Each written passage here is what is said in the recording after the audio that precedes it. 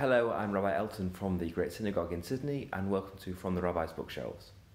Very occasionally in Jewish intellectual history, there emerges a figure who is totally remarkable, really unique in their generation, and such a figure was Rabbi Adin Steinsaltz, who was born in Mandate, Palestine in 1937 and died just a few months ago. Now, last week we looked at the standard traditional edition of the Talmud, known as the Vilna Shas.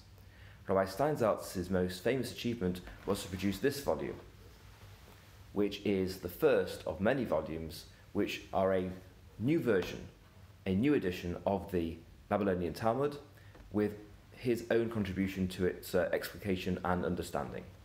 Let me say something first about Rabbi Steinsaltz and then we'll talk about his edition of the Talmud.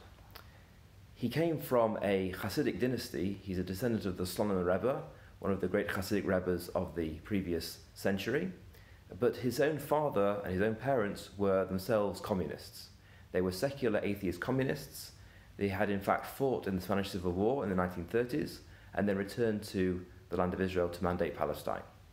There, the young Adin was born into this secular environment and he pursued himself a uh, rigorous academic scientific career and education, but he was also very drawn towards traditional Judaism, and not of the strictly rationalist type, but in fact towards Chassidut.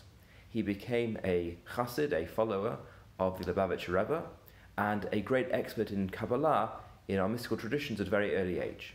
In fact, there's a book written many years ago called Nine and a Half Mystics, which talks about the young Adin Steinsaltz and his work discussing and teaching and describing the Kabbalah.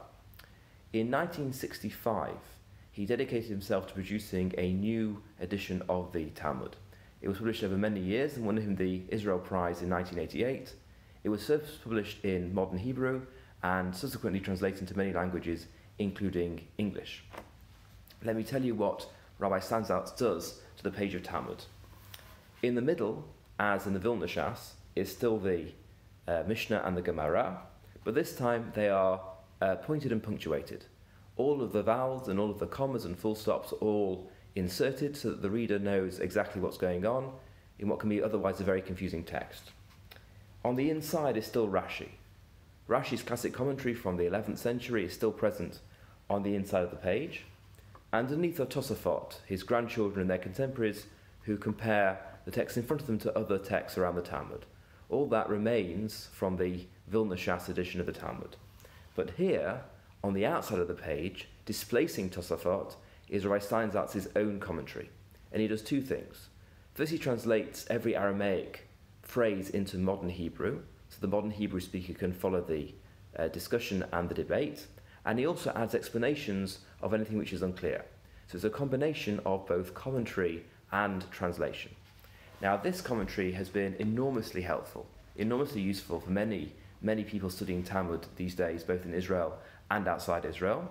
But of course, it had its critics. Every truly great intellectual figure in our tradition has had its critics, whether it's been Rashi or Rambam or anybody else, and uh, so too Rabbi Steinsaltz. On the one hand, academics felt that his approach to Talmud was too traditional, whereas traditionalists felt that it was heresy, or at least it was sacrilege, to overturn the page of the Vilna Shas and to insert his commentary where that of the great Tosafos had once been on the page. But the value of the work was so tremendous and the reception was so warm that he enjoyed these criticisms. And now there are very few rabbinic institutions or libraries which don't have a copy of uh, Steinsaltz's Gemara, his Talmud, with his commentary. And it's an extraordinary testament to decades and decades of work, which has really transformed the ability of many people to learn and to benefit from the study of Talmud. Thanks for joining.